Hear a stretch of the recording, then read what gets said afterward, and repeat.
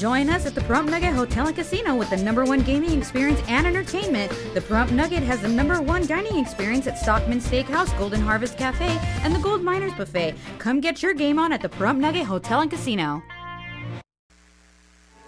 Today's news is brought to you in part by Dr. George Leeks, Pahrump's optometrist since 1990, offering full spectrum eye care for children and adults. Call today 727 8300.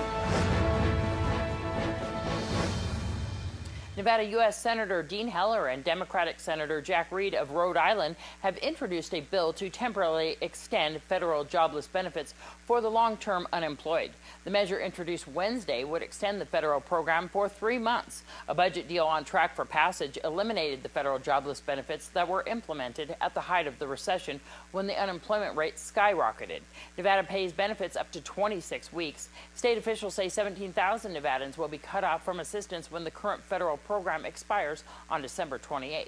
Another 800 people per week will lose benefits unless the program is extended. Nationally, 1.3 million will lose unemployment insurance. Nevada's 9.3% unemployment rate is the highest in the nation. Nevada's brothel industry came into the crosshairs of Oklahoma Republican Senator Tom Coburn's annual Waste Book, a year end hit list of program he says optimized financial excess in the federal budget. Coburn argues that the Silver State's prostitution industry, number six on his hit list, is effectively being subsidized by the federal government through business tax deductions. Brothels can take deductions for grocery, salaries, and wages of prostitutes, rent, utilities, taxes, and licenses. The report says breast implants and costumes have also been ruled allowable deductions by the Internal Revenue Service. Coburn accuses the industry of bilking the federal government out of $17.5 million. There is, of course, no special prostitution section of the tax code. Brothels simply take advantage of normal business tax deductions.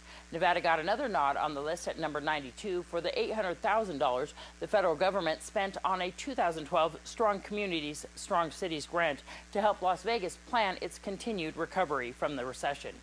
Nevada Governor Brian Sandoval has signed a follow up agreement with the governor of Mexico to promote tourism, cultural, and artistic exchanges between the two governments. Sandoval and Governor Villegas of the state of Mexico signed the agreement of cooperation in Las Vegas. The agreement expands the memorandum of understanding the pair signed when Sandoval visited Mexico on a trade mission in July. The leaders say they both will promote state tourism attractions collaborate through hotel associations, and work to improve air flights between the two destinations. Additionally, it says Nevada's outdoor activities, including big game hunting and special events, will be promoted in Mexico. Nevada, in turn, will explore marketing, events, and crafts in the state of Mexico. I'm Deanna O'Donnell. That's your news across Nevada.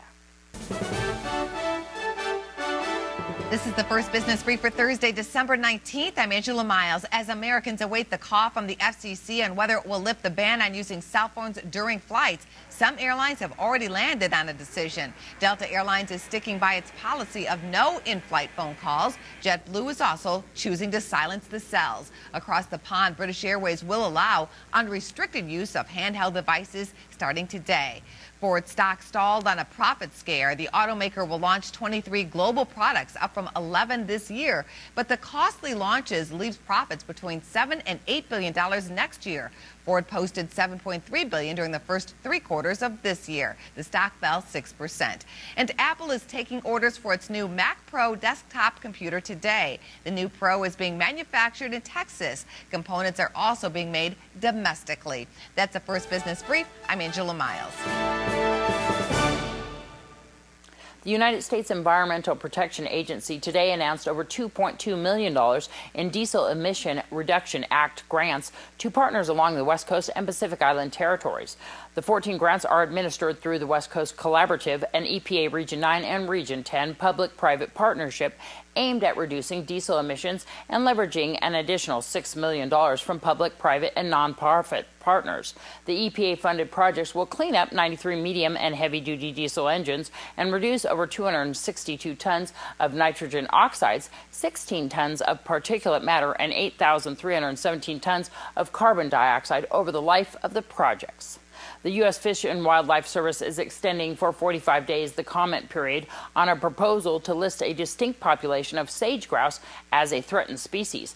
Public comments will be accepted through February 10th. The federal agency in October proposed protecting a distinct population along the Nevada California line under the Endangered Species Act. The proposal would designate about 1.8 million acres as critical habitat. The service estimates there are only about 5,000 of the birds left.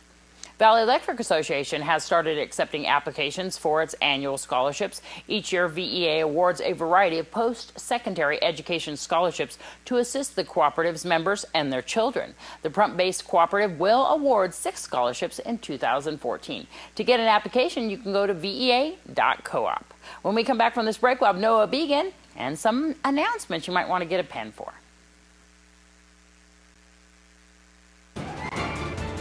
News 46 weather is brought to you by your local dairy farmers. Dairy products are very important in maintaining a healthy body. Hello and welcome back to News 46. Today is Thursday, December 19th. Today we had scattered showers with a high of 56 degrees. It's also your average temperature. Your winds were coming from the west-northwest at 8 miles per hour with gusts up to 16 miles per hour. The UV index today was 2, which is low. Humidity is at 42% today. Sunrise was at 6.50 this morning, and the record high in 1942 was 68 degrees. Tonight we'll have continued showers with a low of 30 degrees, an average temperature around this time of year of 38 degrees. Winds are coming from the north-northeast at 4 miles per hour with gusts up to 9 miles per hour. Humidity will be at 78%. Sunset will be at 4.32 p.m. and the record low in 1945 was 22 degrees. Tomorrow we'll have sunny skies with a high of 56 degrees and a low of 29 degrees. Winds coming from the north-northeast at 12 miles per hour with gusts up to 23 miles per hour. Humidity will be at 39%. Sunrise will be at 6.51 a.m. and the UV index will be 2, which is low. For our seven-day forecast, we'll have a mostly sunny week with some clouds on Tuesday. Your high temperatures will be ranging from the mid 50s to the mid 60s, and your low temperatures will be ranging from the high 20s to the low 30s. Thanks so much, Noah. Saturday, KNI Radio will be holding their Christmas food drive. Come by Smith's on Highway 160 from 10 a.m. until 2 p.m. to donate to the holiday drive. And come down to the VFW on Homestead Road from 10 a.m. till 5 p.m. on Saturday for a Christmas fundraiser. Boy Scout Troop 651 will be hosting the event with lots of crafts and vendors. For more information, you can call 702 807 6776. That's 702 807 6776. And the third annual Christmas the Cowboy Way is looking for donations for their event this Saturday at the Mesquite uh, at the Maverick Saloon on Mesquite. For more information and to donate, you can call them 513 6216. That's 513 6216. And Christmas the Cowboy Way will be held at the Maverick Saloon on Mesquite on Saturday. Santa will be there, and all the fun begins at 1, so if you want to come on down. Santa will also be visiting the Pahrump Nugget inside their Kids Ventures from 9 a.m. until noon on Sunday, and all are invited to come on by and meet the Jolly Elf. And that's going to do it for this edition of News 46. I'm Deanna O'Donnell. From everyone up here on the Hill, we hope you have a great evening. Good night.